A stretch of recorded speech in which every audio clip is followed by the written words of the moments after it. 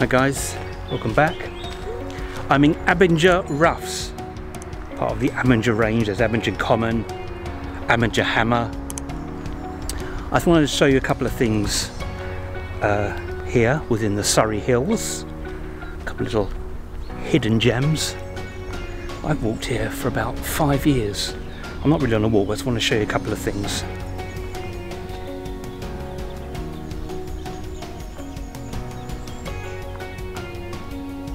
I was just talking to this really nice guy and he said he goes to Australia, everywhere, and I couldn't agree with him more here. He said, when you've got weather like this, you cannot beat the English countryside.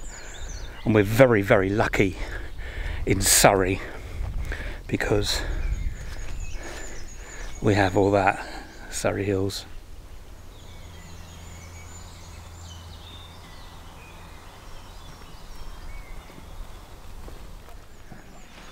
Up there is the North Downs Way, ancient trackway which me and my friend Paul walked a couple of years ago.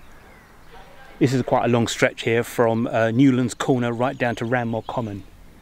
Now up on the top there I can just about see it, there's loads of World War II pillboxes uh, along the route.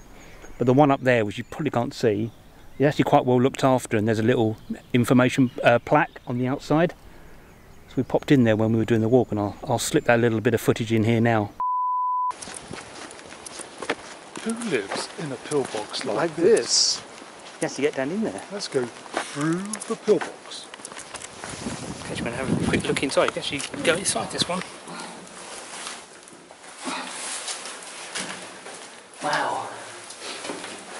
Pretty cool. Imagine spending all those hours down here. Yeah, absolutely.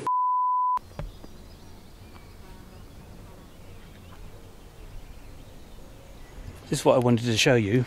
The Wilberforce Memorial here on uh, Abinger Roughs, July the 19th, 1873. This monument marks the spot where Samuel Wilberforce, known as Soapy Sam in Parliament, third son of the abolitionist William Wilberforce, and himself Bishop of Winchester from 1869 to 1873, was killed on 19th of July 1873 after a fall from his horse while riding with Lord Granville. Was erected by the National Trust, so he actually passed away here. It's very sad. Um, it's nice to have a monument here for all people to see.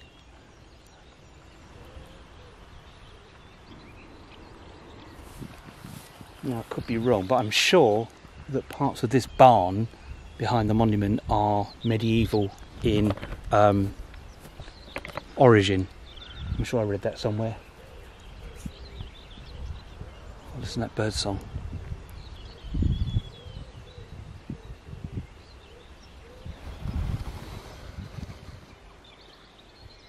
Think I'm right about the bong. there seems to be a plaque in the distance. Which what's it doing uh, right over there? I don't know. No one can read it. Why don't they put it here near the fence?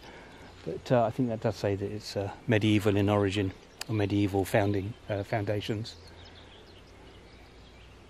Let's move on to the next thing I want to show you. This is more natural.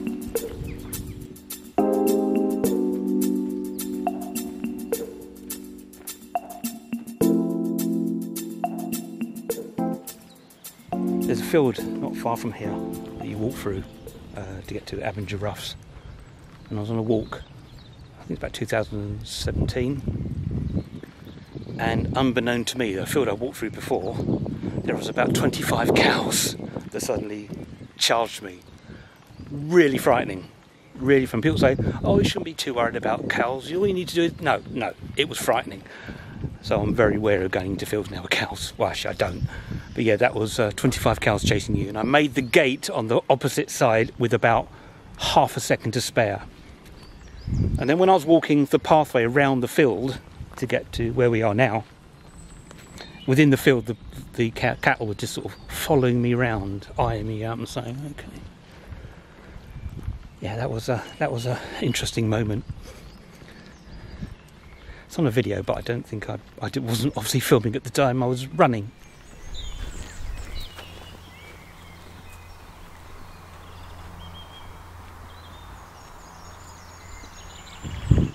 Oh, get that vitamin D in you. Absolutely glorious.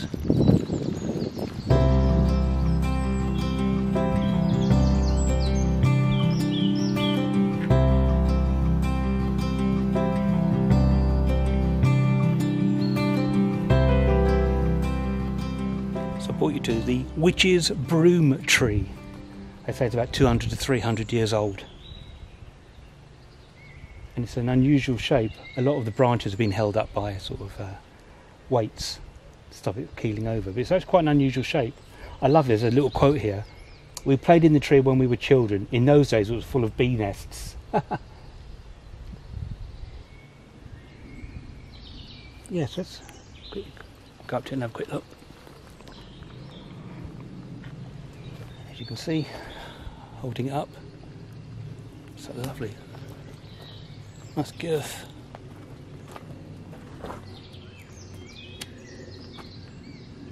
I love trees, great for grounding.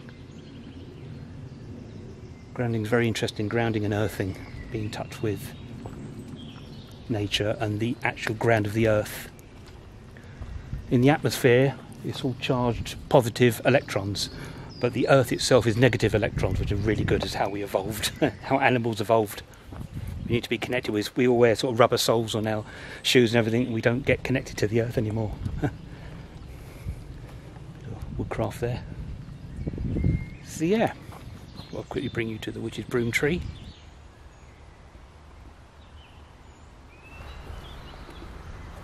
Oh, the A25 road is really interesting. It's the road that goes from Guildford all the way down to, not sure where it finishes, but the stretch between Guildford and Dorking is really interesting. You've got lots of little villages and hamlets along the way. You've got Shere, uh, Albury, which is the last video from the church, little Saxon church. Uh, Gomshall, Peaslake's not too far, Ockley's not too far.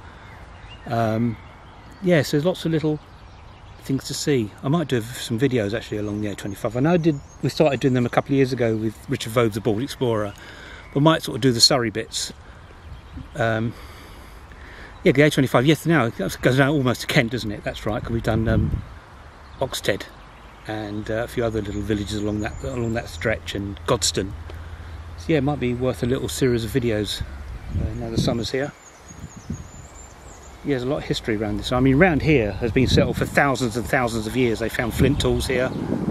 Um, so it's a very, very ancient site. Very ancient site. So yeah, time to move on.